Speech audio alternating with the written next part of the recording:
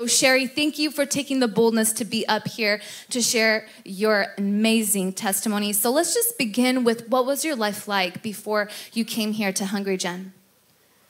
Um, empty. I was lost. Um, I was just existing, um, pretending to be happy, but knowing that I was missing something. Mm-hmm. Um, I was raised in a Christian home, um, bounced from church to church until middle school. Um, but I never understood that I needed to have a relationship with Jesus. So um, after I turned 18, I moved away um, on my own. I found myself at 23, a single mom of two children, still lost I had addiction issues. I had, um, I was searching for happiness in everything and never finding it. So here I am, 52. I have watched my son um, get married, have a family, and I noticed a change in him. And I just watched quietly, and he invited me to church one day. I'm sorry, I'm getting emotional. Right. Okay. But um, that's okay. Yes.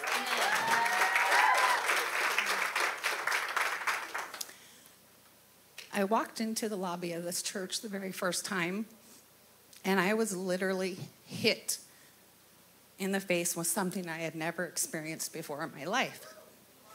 I was shaking. I was instantly emotional. I came in and I sat with my son and his wife, and I sobbed through this very first time. And I still get emotional, and I don't cry, you guys. I, I am just a single mom of two kids and I had to survive. I am not a crier. Well, I was not a crier, okay? I am a crier. anyway, um, wow three years ago was the first time I walked into this church. It scared me what I felt here. I didn't understand it. I didn't know what it was because I have I have not had that in my life. So I didn't come back because it was fearful. I was fear, afraid of what it was.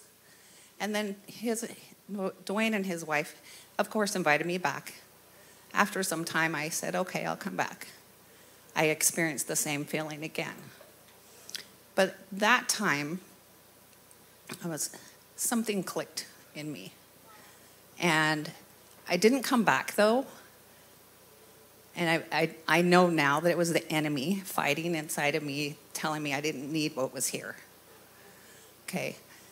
And then about six months ago, I was going through some nightmares and some torments. I wasn't sleeping. I was completely consumed with worry about one of my children that's living a life of addiction right now. I was literally so focused on fear of what may happen to that child that I wasn't living. I was having nightmares of him dying him taking my older son with him because seeing my older son trying to save him. Um, I texted Dwayne and I said, What time's church tomorrow? So I have to change my life. And he said, What time do you want to go? Mm-hmm. we'll be there. You know, so I came to church. And then I came the next Sunday. And I came the next Sunday. And I was literally tormented every Sunday morning I woke up. I was sick. I was throwing up. I came to church anyway. As soon as I walked in this door, I stopped being sick. All that feeling went away.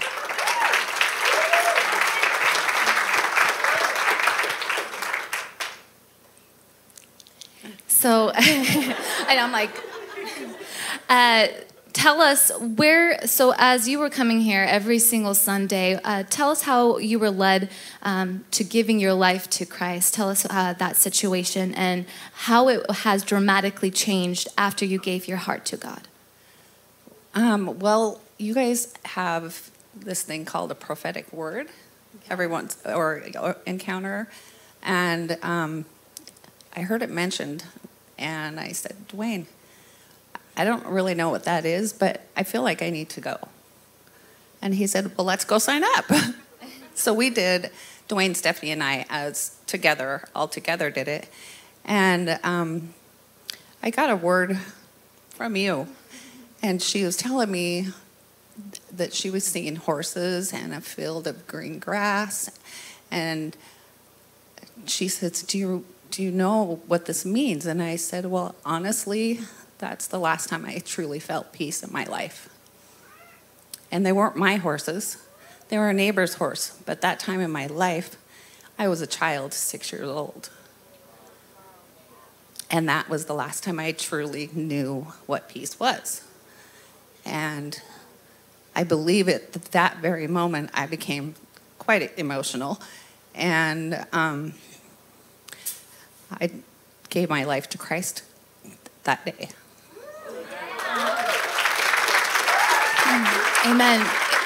It was, it was a really powerful moment just to explain where that peace that she was talking about was God is very detailed he orchestrates every defined detail. And what was so beautiful was he was giving her this moment and memory of peace, and he was taking her back to where she was of peace because he's saying to her at that very moment, that day, is that I'm the Prince of Peace. Come back to that. And so that's where she gave her life immediately. As soon as we were done, just, you know, ministering to her, she, uh, we just said, Hey, are you ready? She said, Yes, absolutely. I'm ready to give my life to Christ. So, any avenue our church uses to minister, we're going to take it up and give people that opportunity to give their lives to Christ. Amen? Any ap- avenue. And so, that was one of the things is that we're encouraging even the prophetic encounter that's happening in May is that to get signed up and where God can speak to you or to your family members and God can touch them, bring them back home to the place of peace. Amen? So, to continue on, tell us that very day, as soon as you gave your life to Christ, that very day, what happened after? I sleep every single night, six to eight hours, not waking up. I don't wake up tormented. I do, I do not, I am not worried. Literally, I know that God is going to do good no matter what happens. It's for He's working for good in every all of our lives. So I don't worry. You know, I I gave my son to God. I said, He's all yours. Do with him as you will. Yes. And I have peace. Come I on. you know, I pray for my son too, but I know God's got him. Amen. He's got me. Yes. He's got me. Yes. You know, God's got him and whatever happens is going to happen in God's glory, not mine. Not in his time, not mine. Yes. You know, as long as I remember that he's working a good work in me. Yes, come on. That's all that matters. Yes. You know. And the more I get to know God, the more peace I have in my life. Amen. Yes. Amen. Come on, you guys. That's absolutely beautiful. And a reminder, she was just telling me, you know, where before she would see certain, you know, articles or newspapers that she would just get angry about it. But now, what is your, how do you encounter when you hear certain news about um, people getting into relationships? What was like your attitude? What was it like before and how is it now? Uh, well, It sounds kind of silly, but when people used to tell me they were engaged or they were going to get married, I would say, What is wrong with you? Are you crazy? You know, and I would get angry because I never had a good relationship. I've never had a good marriage. I've never had a healthy relationship. So I would, I would, that sounds crazy to me for someone to want to, to get in a relationship. You know, now when people tell me they're engaged, I'm excited for them. I'm happy for them because I believe that there is healthy relationships. Even though I haven't experienced one, I know if it's supposed to happen, God will put that there for me. Amen. You know, but I'm okay with me today. So I don't have to be angry and think everybody's crazy because they want something that I've never had. Yeah. You know. So, and I read articles and about, you know, um, people doing evil things to other people. And I used to get angry and I used to cuss and say, What is wrong with those people? You know, now I cry and I pray. I cry and I pray. You know, though my, my heart is being softened in ways that I didn't know it could be. Amen. It's powerful. Amen. Amen.